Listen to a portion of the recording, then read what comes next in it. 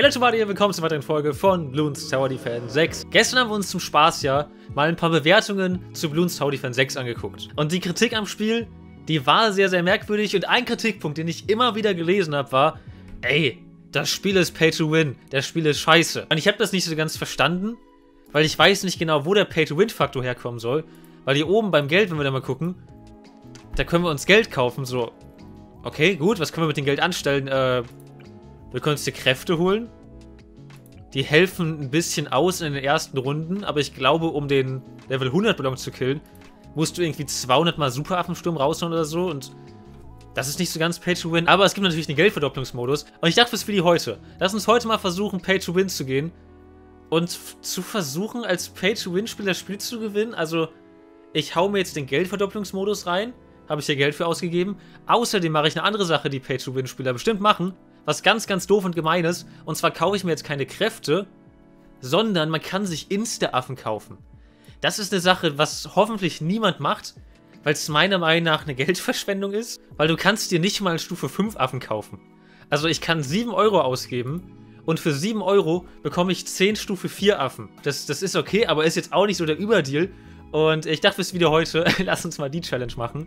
Wir werden Pay to Win gehen, was aber so viel heißt, wie ich werde mir hier Insta-Affen holen und ich darf in dieser Runde nur die Affen benutzen, die ich im Stufe 4 Insta-Paket bekomme. Damit es ein bisschen schwerer ist, wählen wir auch eine Map aus, die nicht so leicht ist und außerdem gehen wir in den Modus unplatzbar, der auch nicht so leicht ist und äh, ja, komm, gib mir das. Gib mir das. Wir sind Pay-to-Win. Wir geben mal kurz die 7 Euro aus. Ganz böses Pay-to-Win-Spiel.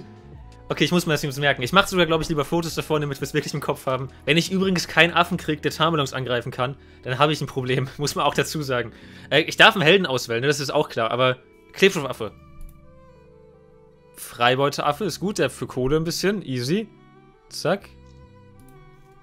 Hubschrauber, sehr gut. Ist zwar scheiße, aber kann Tarnballons angreifen. Gut. Der, der Scharfschütze mit der schlechtesten Skillung, die der so haben kann.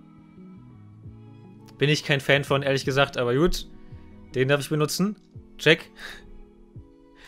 Boomerang-Affe. Check.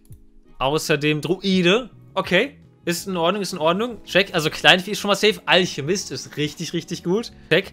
Aber ich bräuchte jetzt noch was gegen Tarnballons. Weil ansonsten wird das vielleicht ein bisschen schwer. Und wir kriegen den Affenpionier mit 400. Check. Druide mit 204. Okay. Ich darf einen Druiden benutzen. Check. Uh. Ich darf den Roboaffen benutzen, aber auch nicht so, dass ich Tarnballons angreifen kann. Check. Und das war's. Hm. Ich darf einen Helden benutzen, ne? Dann nehme ich einfach Etienne. Dann nehme ich einfach Etienne, wir machen das so. Und jetzt Pay to Win. Und ja, der Titel ist vielleicht ein bisschen reißerischer. Äh, bei mir ist aufgefallen, was die Titel angeht.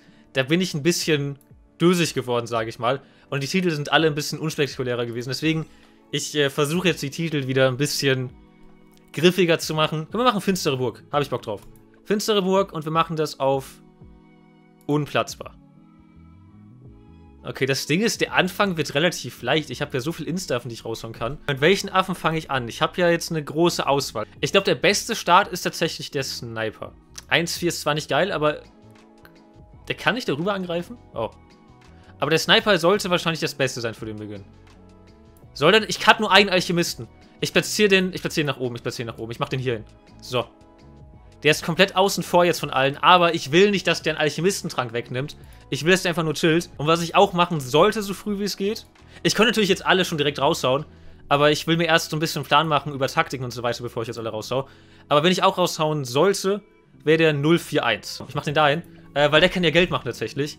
Und deswegen, ich baller den lieber jetzt raus und dann können wir so ein bisschen extra Kohle machen. Wir haben ja eh den doppelten Geldmodus an. Deswegen sollte das sowieso klar gehen.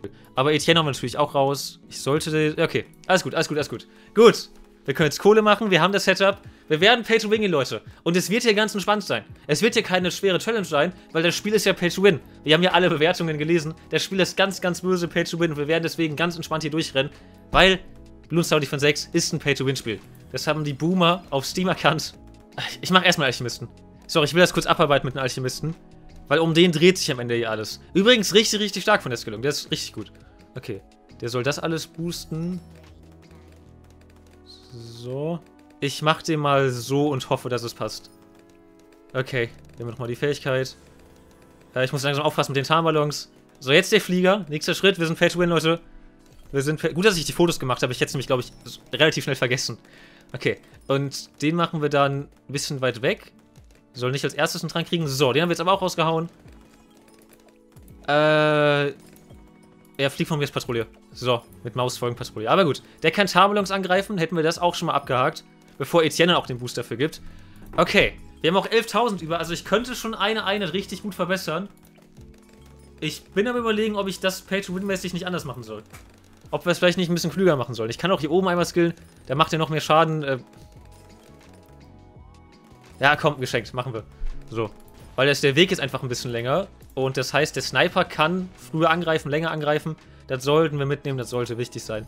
Und jetzt schauen wir dann den Superaffen raus. Den 240-Affen.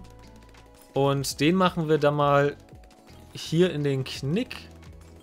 So. Und der ist ja relativ stark so. Der ist ja auf jeden Fall ein Killer. Jetzt haben wir ja auch die Fähigkeit. Also das ist in Ordnung. Das, was wir jetzt draußen haben, sollte uns genügen, um Runde 60 zu überleben. Das ist in Ordnung. Und ich sollte das jetzt auch mal ein bisschen taktischer machen, also wirklich taktisch. Und ich sollte jetzt sparen auf den Waldgeist. Der kostet zwar 42... Nevermind, nevermind, nevermind. Ich habe eine wichtige Einheit vergessen.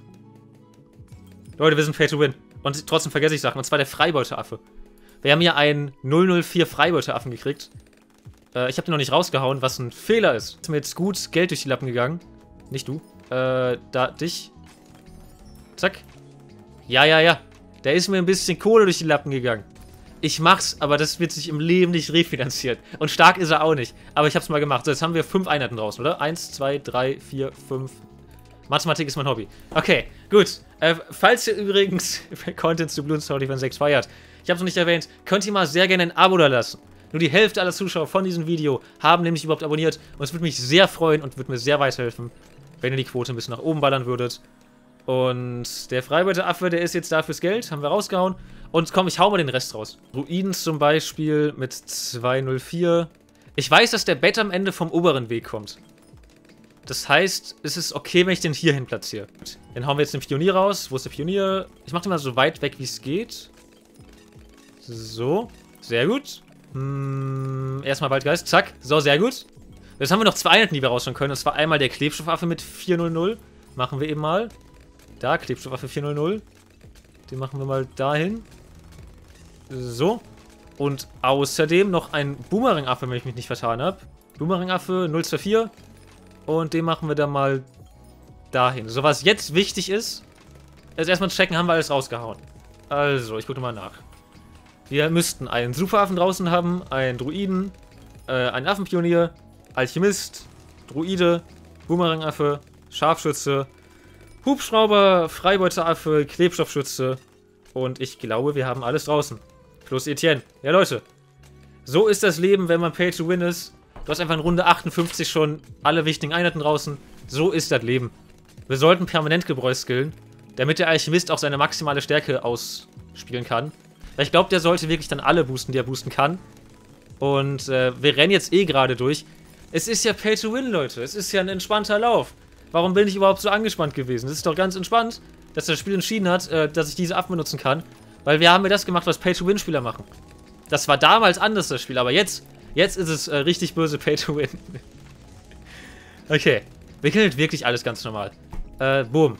Es läuft aber gerade so gut. Wir haben hier mehrere Einheiten, die noch nicht einmal Schaden gemacht haben. Einmal hier. Einmal da. Einmal da. Einmal da. Oder hier oben. Ja, ja. Der Waldgeist hat am meisten Schaden gemacht. Der hier oben hat jetzt am zweitmeisten Schaden gemacht, aber ihr werdet am Ende sehen, am Ende wird der vielleicht so Platz 5 sein vom Schaden. Vielleicht. 73.000. Oh, das war ja ein Sprung, Alter. Okay, wir haben 80.000. Ich weiß nicht, wie das geschehen ist, äh, aber Runde 76 hat uns gut Geld gegeben. Das war eine feine Sache. Okay, uns fehlen noch 30.000, ne? Ja, 30.000 fehlen uns noch ungefähr. Also jetzt auch nicht so, ja, mit der richtigen Taktik kannst du das schaffen. Nee, auch mit der richtigen Taktik kannst du Runde 95 nicht schaffen wenn keiner DDTs angreifen kann. Das hätte nicht funktioniert. Wir hätten vielleicht so ein bisschen kaputt gekriegt, aber mit des Tages wäre es ganz erbärmlich geworden. Deswegen, wir brauchten Etienne. Äh, nur für Leute, die jetzt meckern. Leute, das ist Pay to Win. Ich kann nur machen, was ich will. Ich hätte sogar wahrscheinlich direkt am Anfang Etienne 10 Level kaufen können. Ist übrigens sau teuer. Am Anfang 10 Level kaufen für einen Helden. Ich weiß nicht, warum es im Spiel drin ist, aber gut. Anti-Bluen, boom. Und jetzt kann ich mit meinem Geld hier machen, was ich möchte. Ich habe hier die Verbesserung, ich habe hier die Verbesserung, ich habe die Verbesserung. Das sind erstmal die wichtigen Sachen. Kann mir vielleicht als Fun-Faktor die Extra-Challenge geben, den Bett aus Runde 100 kaputt zu kriegen, bevor der Freibeuteraffe Schaden machen kann. Das heißt, ich sollte ihn verbessern und ich sollte wahrscheinlich auch ihn verbessern. Oder ihn, damit wir wirklich möglichst schnell den Schaden raushauen. Aber ich glaube, das geht nicht, oder? Ah, weiterer Funfact übrigens, den ich ganz übersehen habe. Äh, und zwar, der Druide boostet ja auch den Waldgeist. Ich glaube, wir kriegen das hin. Das Handelsschiff soll am Ende null Schaden machen. Wenn der die ein bisschen langsamer macht, könnte das am Ende die entscheidenden Prozente ausmachen, dass er keinen Schaden macht. Das ist nochmal wichtig. Er darf nichts machen, außer Geld. Na gut, dann machen wir noch den Balloonlöser. Also ich könnte Moab-Beherrschung noch anpeilen, aber es kostet 72.000. Da komme ich doch niemals hin. Auch mit einem doppelten Geldmodus, auch mit äh, allen anderen Cheats, die ich habe. Ich muss noch mal kurz ein bisschen Pay-to-Win gehen, nochmal Erfolg kaufen. Nochmal mehr Geld. So, Runde 95. Äh, da müssen wir jetzt Fähigkeiten raushauen. Weil jetzt kommt die Welle an die DCs. So, äh, Fähigkeit Nummer 1. Das Handelsschiff darf nichts machen. Wir müssen alles rechtzeitig killen. Sieht gut aus. Sieht gut aus. Wir haben noch die Fähigkeit vom Anti-Bluen, notfalls. Sehr gut. Sehr gut. Handelsschiff. Handelsschiff, 0,0 Schaden. Die Runde haben wir jetzt auch gestoppt gekriegt. Perfekt, er hat 0 Schaden bis jetzt gemacht. Sehr gut. Okay, okay. Die, oh, das war ein bisschen knapp. Er hat, nein! Ich hab gepennt. Ich hab gepennt. Ah. Schade. Aber wir haben es geschafft. Ganz, ganz locker haben wir es geschafft. Pay to Win, Leute. Mit der Pay to Win-Taktik haben wir es hingekriegt. Ärgerlicherweise 400 Schaden, ärgerlicherweise 3 Schaden. Deswegen, man kann sich ja auch noch andere Sachen kaufen. Zum Beispiel Affenwissen kann man sich holen. Ist ja nicht so, dass du nach ein bisschen Spielen einfach Affenwissenspunkte über hast. Ich habe 10 über. So, ich habe alles durchgeskillt. Dann würde ich sagen, sehen wir uns dann bis zum nächsten Mal. Vielen Dank fürs Zusehen. Falls ihr weitere Ideen habt, schreibt doch mal in die Kommentare und dann sehen wir uns dann. Bis zum nächsten Mal. Bis dahin und ciao.